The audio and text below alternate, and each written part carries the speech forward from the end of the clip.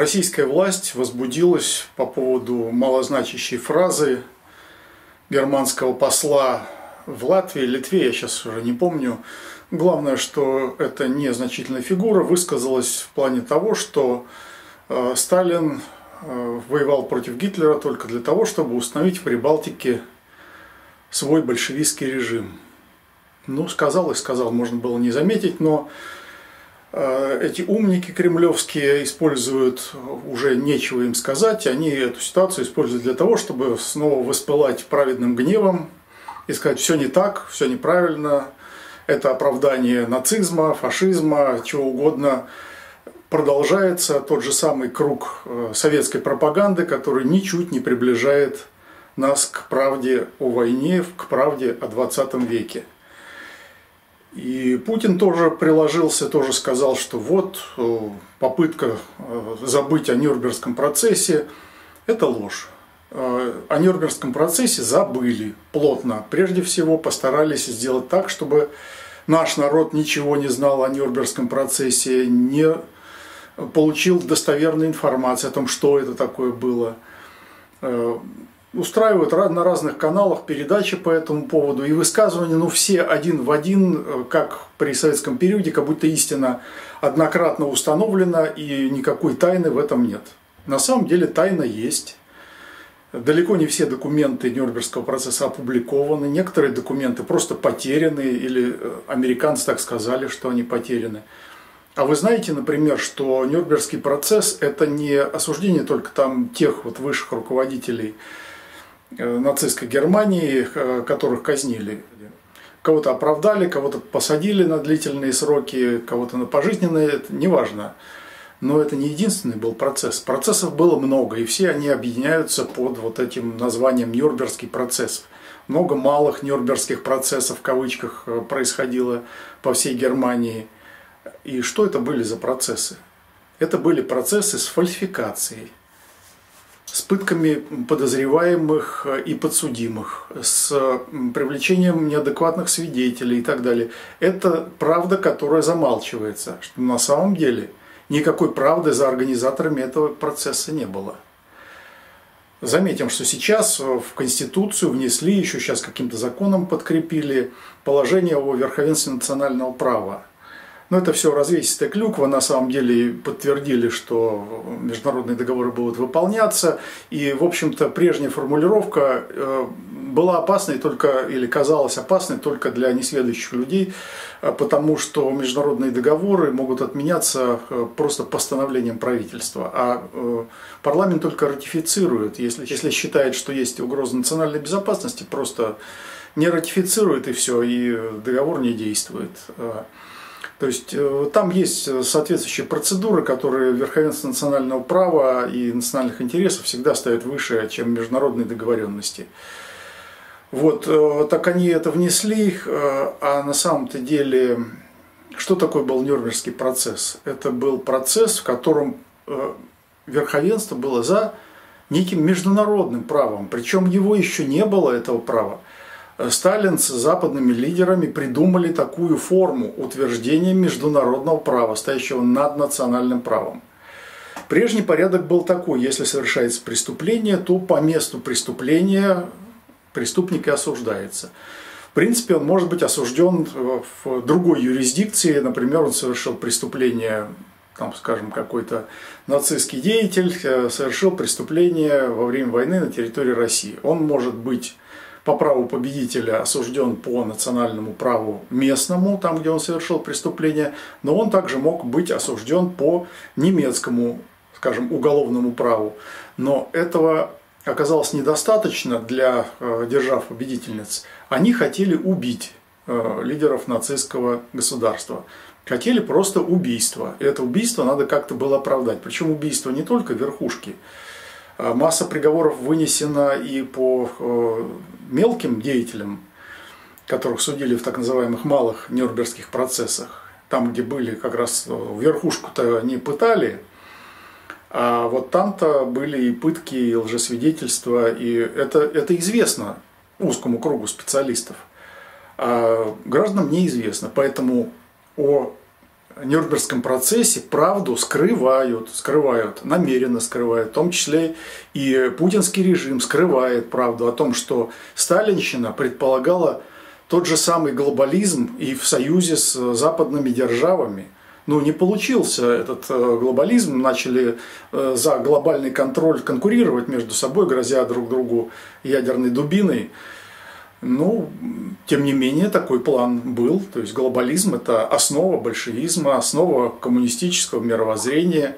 И он в этом плане ничем не отличается от западничества. Поэтому коммунисты и западники тех времен были очень близки. А теперь они близки в том, что они отрицают русскую государственность, Э, поливают грязью Российскую империю, весь наш исторический опыт и подсовывают нам в качестве идеала сталинщину. Вот сталинщина. Это фальсификация истории.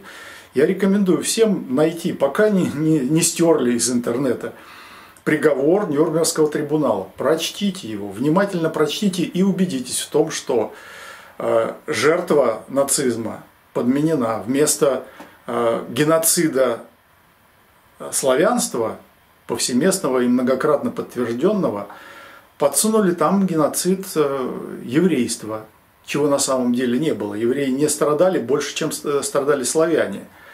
И вот эта глобальная фальсификация до сих пор э, является основой для пропагандистских клише, которые используются и на Западе, и здесь в режиме путинщины, который является просто одним из вариантов той же самой сталинщины, того же самого, э, вот говорят, тоталитарное правление. Нет, это не это правление олигархии, олигархии финансово-политической. В одном случае финансовое вылезает на первый план, во втором случае политическое.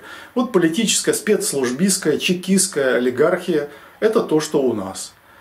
И то, что две, два типа олигархии сложились в Нюрнбергском процессе – это совершенно очевидно, в том числе и по э, тем фальсификациям, которые совершенно очевидны из э, самого приговора Нюрнбергского процесса. Вы посмотрите на него внимательно, там не надо быть юристом семи пядей во лбу, чтобы понять, что это фальшивка, что там нет ссылок на документы, что там есть э, произвольные суждения, что там преступлением называется то, что никогда преступлением не считалось, что э, лидерам нацистского государства предъявлялись те претензии, которые можно предъявить лидерам любой воюющей державы, и уж точно тем, кто э, действительно был втянут в вооруженный конфликт, участвовал в войне, те же самые преступления. Недавно был опубликован материал, где-то я прочел, по поводу той лжи, которая распространялась на Красную Армию, якобы высосана из пальца такая была информация о том, что э, красноармейцами было изнасиловано около двух миллионов немок. Это ложь, конечно. Ложь просто запредельная, потому что э, за такое преступление э, полагался расстрел. И такие расстрелы были. Может быть, какая-то лояльность проявлялась к преступникам, но преступление оставалось преступлением. Тут могли быть какие-то скидки на, на войну, кому-то могли простить, но преступление определялось как преступление, в этом нет никаких сомнений. И то, что красноармейцы прямо вот э, занимались такими массовыми изнасилованиями, это, конечно, полная ложь. Зато э, автор некого исследования, человек западный, не наш, показал, во-первых, что вот эта э, цифра 2 миллиона – это э, пропагандистская ложь, ничего и рядом не было, потому что красноармейцы в основном были из патриархальных семей и не были развращены так, как были развращены, например, французские марокканцы, которые действительно массово насиловали немок на территории, оккупированной западными державами. И другие, и другие. Это, это считалось нормой, и даже это не скрывается сейчас в одном из э, фильмов, по-моему, «Ярость» называется. Ну, это прямо показано, как это, как это происходило. Это, было, это считалось нормальным. Считалось нормальным. Э, в разной форме это могло происходить, но это как бы такое право победителя, как они считали. Э, немцы тоже, тоже считали и творили беспредел на нашей территории. Но чтобы от э, Красной Армии, от красноармейцев, от э, русских людей такое, такое было, это, конечно, фантастическая ложь. Тем не менее, э, вот эта ложь гуляет по западным СМИ и не разоблачается Здесь не разоблачается одновременно и мифология Нюрнбергского процесса, и вот эта пропагандистская ложь, и много всяких других, если можно так выразиться, лжей. А поскольку режим путинщины – это тотальная ложь о настоящем, то без тотальной лжи о прошлом она обходиться не может. Их правда – это пропагандистская ложь советского периода. Вместо э, тщательных и подробных исследований, что и как, как происходило, вместо того, чтобы по-настоящему оценить подвиги одних и фальшивки пропагандистов, э, посвященные другим, у нас продолжается вот эта советчина.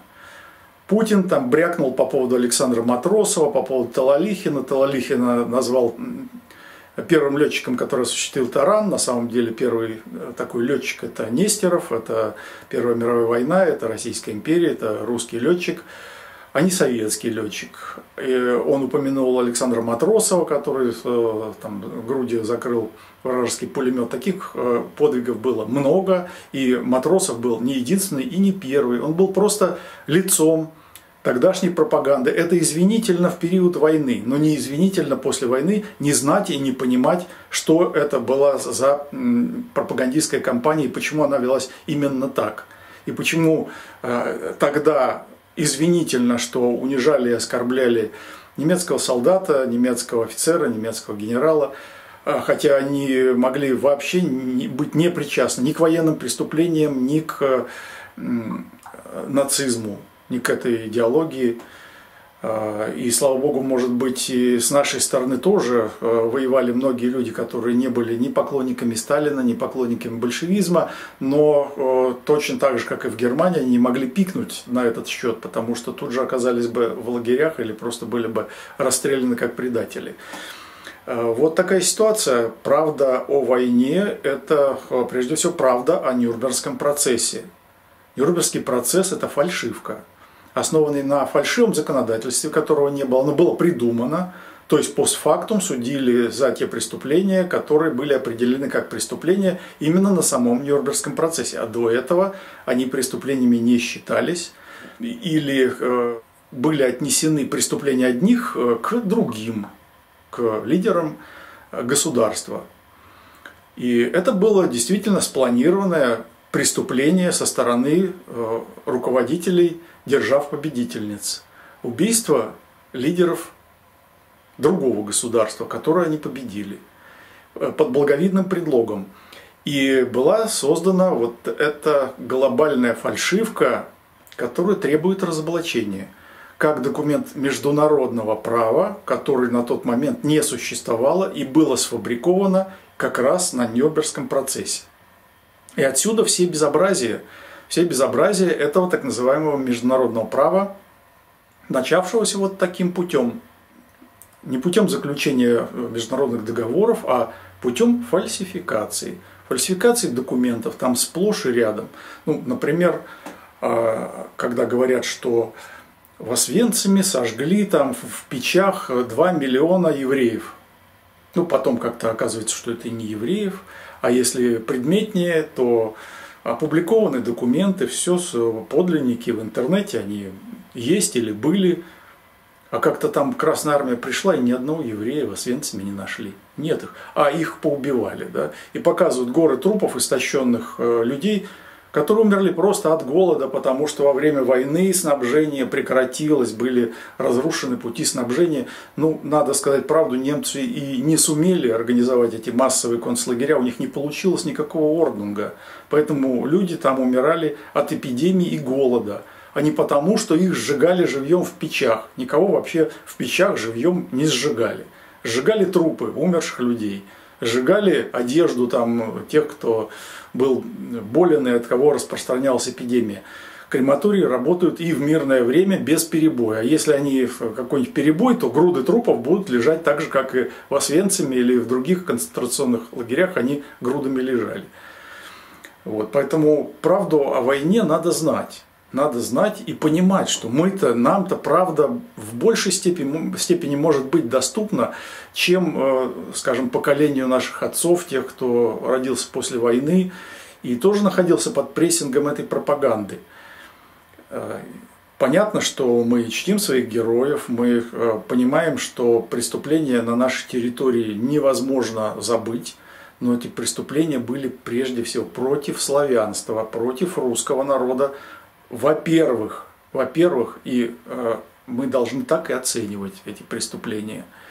И должны называть конкретные имена, не фальсифицируя их пропагандистскими клише – нужно разбираться в каждом конкретном вопросе, и действительно требуется изучение каждого, э, каждого эпизода, который был включен в Нюрнбергский процесс или в другие процессы, потому что фальсификаций там было полно.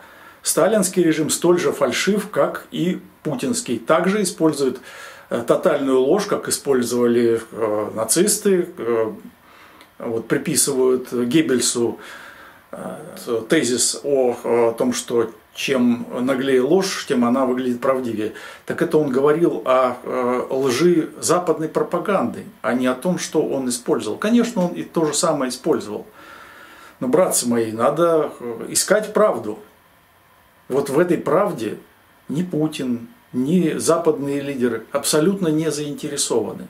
А мы должны быть заинтересованы в том, чтобы действительные преступники были названы преступниками, те, кто преступниками не был – а был втянут в войну и никак не мог от этого отречься, отказаться. Это фактически под угрозой смерти и угрозой смерти родных и близких. Я думаю, подавляющее большинство просто участвовало в войне. А вовсе это не была какая-то эйфория, что всем хотелось, так хотелось воевать, что вот они бежали прямо записываться в добровольцы. Да нет, не было этого. Не было этого. Война страшное дело, поэтому она пугает, и отпугивает и отталкивает. Вот, герои должны быть названы героями. Если назвали Александра Матросова, давайте назовем и всех остальных. А там, по-моему, больше полутора тысяч подобных ситуаций. В какой-то из э, книг, по-моему, книга Некрасова в окопах Сталинграда, там просто описывается, как э, такие подвиги могли происходить. Ну просто все, все бежали, один упал. И упал как раз вот э, так в кавычках удачно, что упал прямо на пулемет и закрыл э, окно дота, из которого, или там дзота, из которого поливали свинцом наступающих красноармейцев. Вот так, это вот выдум, выдумки такие, знаете, вот человек всей своей жизнью готовится к подвигу, да может он и вообще не был готов к этому подвигу, а его совершил. Вот. Тем не менее, подвиг остается подвигом, несмотря на личность того, кто э, этот подвиг совершил. Но пусть те, кто и совершил подвиг, будут названы героями. Именно в том, э, в чем они действительно становятся примером э, гражданского или воинского мужества. И пусть преступники будут названы преступниками. Не по фальшивкам пропагандистским, а по документам, по свидетельствам. Сейчас уже нет э, живых свидетелей, но есть документация, она осталась, и ее можно исследовать на предмет фальсификаций. И лжецы возглавляли и государство, и партию, и множество всяких карательных, наблюдательных э, органов, которые следили за каждым солдатом и офицером. И поэтому подвиги русских людей нивелировались вот этим партийным руководством. Я думаю, что э, все мы должны стремиться к правде, э, к правде истории, к правде, которая продвигает и возвышает нас над тем безобразием, которое творится в нашей стране. Мы должны добиться того, чтобы честные люди находились у власти, честные люди руководили направлением исследований в науке, в исторической науке и в других науках. Не имитаторы а именно честные люди, которые честно покажут результаты, скажут, что доказано, что не доказано, что достоверно, что лживо. Вот этим мы должны заниматься ученые, а политики должны обеспечить им такую возможность профинансировать необходимые исследования и добиться не пропагандистского результата, а правды. Правда – это и есть главная наша пропаганда, в том числе и в русском движении. Слава Руси, Господи спаси!